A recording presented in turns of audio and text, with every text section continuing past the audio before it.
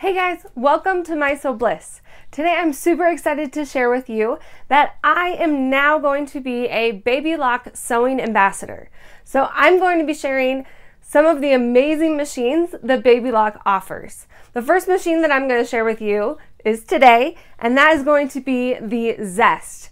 Now, the Zest is from the Genuine Collection, and the Genuine Collection is the newest collection of sewing machines for Baby Lock, and it's all about how sewing and creating and crafting makes you feel. Um, it's all about each machine has a different name um, based on the feeling that you will get when you sew and when you create with it because sewing is just that. It's a feeling, it's an emotion, and it brings out those emotions in you. So it's super awesome that they created these machines and they're all at different price points so that you can find one that works best for you and your skills and your price range. So today I'm going to be talking and showing you an unboxing this Zest and the Zest is a great beginner machine. Um, it's at the lower price range and it's just a basic, easy machine so that if you have never sewn before, this is the gr a great, great machine for you. It gives you all the features a sewing machine should have without breaking the bank and without getting too overwhelming. So I'm so excited to open it up. I've already cut the top because I was just so excited and anxious to get going. So let's open this up and check it out.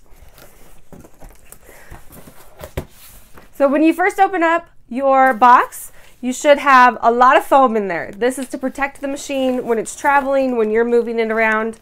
You'll also have an instruction booklet. This is great to keep, so make sure you don't lose that or accidentally throw it away. I've done that a time or two.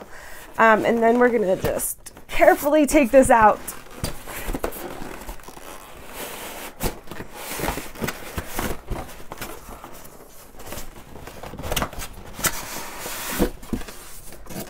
Okay. So another thing that every machine will come with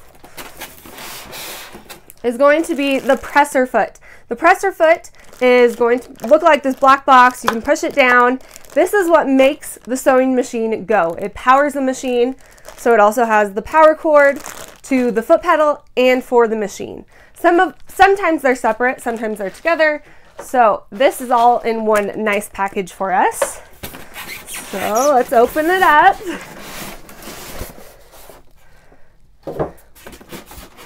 And I like to actually keep the foam and the box so that if I move or if I ever want to travel with it, um, I have this. It is nice to get like a traveling case for your sewing machines, but in case you don't want to spend the money or just for moving even, it's nice to keep that box on hand if you have room for it. So here we have the Baby Lock Zest. So cute. I love the lime green on it. You can see they all have their name on them with the logo. Um, and this one, like I said before, is the basic of the sewing machines. So it has our length, you have different stitches, and this is going to be the selector right here.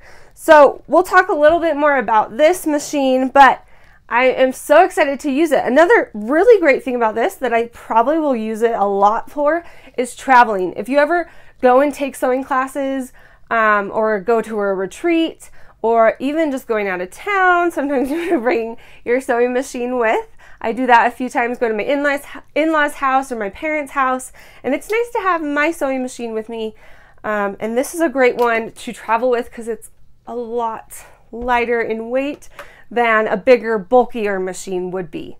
So, super excited about this. I'm so excited to share with you guys the ins and outs of this machine, especially if you're a beginner. Um, I hope you'll subscribe and make sure to stay tuned for those tutorials on how to get started sewing, what everything on this is. If it looks overwhelming, don't be overwhelmed just yet.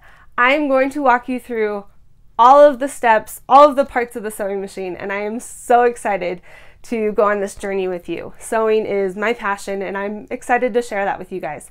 So make sure to hit that subscribe button and the notification button so you know when I upload videos. And stay tuned for more. If you want to see more tips, tricks, um, just what I'm doing every day in the sewing life, in my life, you can check out my Instagram at mysewbliss. And make sure to give this video a thumbs up. And I will see you guys next time. Bye!